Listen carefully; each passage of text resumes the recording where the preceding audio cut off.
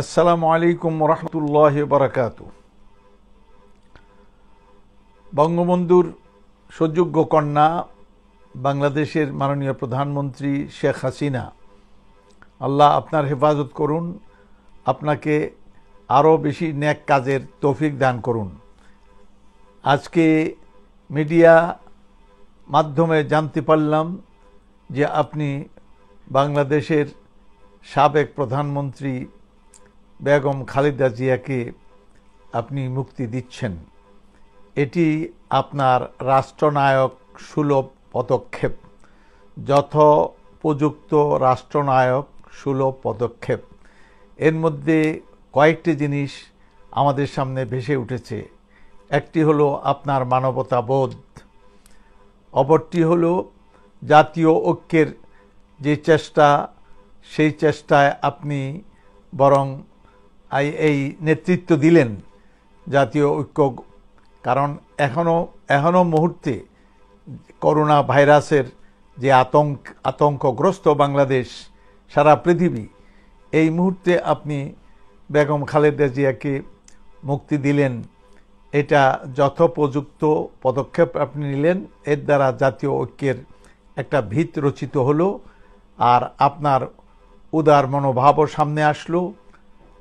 এবং সমঝোতামূলক পরিবেশের অবতারণা হবে আমরা আশাবাদ ব্যক্ত করি। সুতরাং আপনাকে ধন্যবাদ জানাই গোটা জাতির পক্ষ থেকে, কারণ আমরা পাবলিকের মধ্যে নিজের রাজনীতি করি না, কিন্তু মানুষের মনোভাব আমরা বুঝি আল্লাহর মেহরবাণীতে। সুতরাং এটা স্বতঃস্ফূর্তভাবে প্রশংসিত হবে, আপনি সেটা টের পাবেন এবং দেখবেন।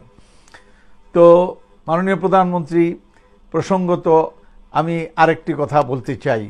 সেটি হচ্ছে যে মৌলানা শেখ দেলার হোসেন সাইদি তিনি বর্তমানে প্রায় আশি বছর তার বয়স, বয়োবৃদ্ধ, এই দেশের সবচেয়ে জনপ্রিয় আলেমে দিন। তো তাকে যদি আপনি এই প্রেক্ষিতে, বর্তমান প্রেক্ষিতে আপনি তাকেও মুক্তি দেন তাহলে এটা মনে হয় যে বহুল প্রশংসিত আপনি হবেন। এবং আপনি যখন উদারতা দেখালেনই, তখন আপনি পূর্ণটাই দেখান। এবং আমি মনে করি যে মৌলানাও এটা মনে রাখবেন, আমরাও মনে রাখব এবং জাতীয় এটার একটা স্বীকৃতি আপনার প্রতি দেবে। কাজেই আমি আপনার স্বনির্বন্ধ অনুরোধ করব আপনার প্রতি। আপনি মৌলানা দেলার হোসেন সাইদি সাহেবকে আপনি জেল থেকে মুক্তি দিবেন। এবং সাথে সাথে এটাও বলব, বর্তমানে আর ওই বিরোধী দলীয় কর্মীদেরকে যত্রতত্র আর গ্রেফতারির কোনো প্রয়োজন নাই। আপনি উদারতা দেখাইছেন, উদারই থাকেন।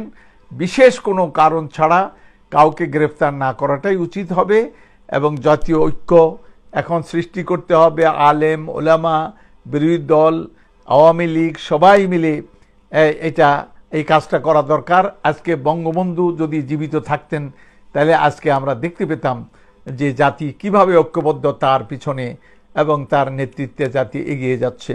যাই হোক, আপনি অনেক ভালো ভালো কাজও করছেন, যেগুলি আমরা দেখতে পাচ্ছি যে উন্নয়নমূলক কাজগুলি করছেন, এগুলি প্রশংসিত সন্দেহ নাই যে আর এই এখন যে পদক্ষেপগুলি শুরু করলেন, এই পদক্ষেপে ইনশাআল্লাহ বাংলাদেশি জাতি সমূহ সংকট মোকাবিলায় তাদের উত্তরণ ঘটবে এবং তারা ঐক্যবদ্ধ থাকবে আর আপনার নেতৃত্ব আলহামদুলিল্লাহ প্রশংসিত হবে। এই কথা বলে আমার বক্তব্য শেষ করতে চাই। আসসালামু আলাইকুম রহমতুল্লাহ।